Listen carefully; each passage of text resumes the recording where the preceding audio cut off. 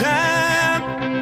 I wonder what it feels like to find the one in this life, the one we all dream of, but dreams just.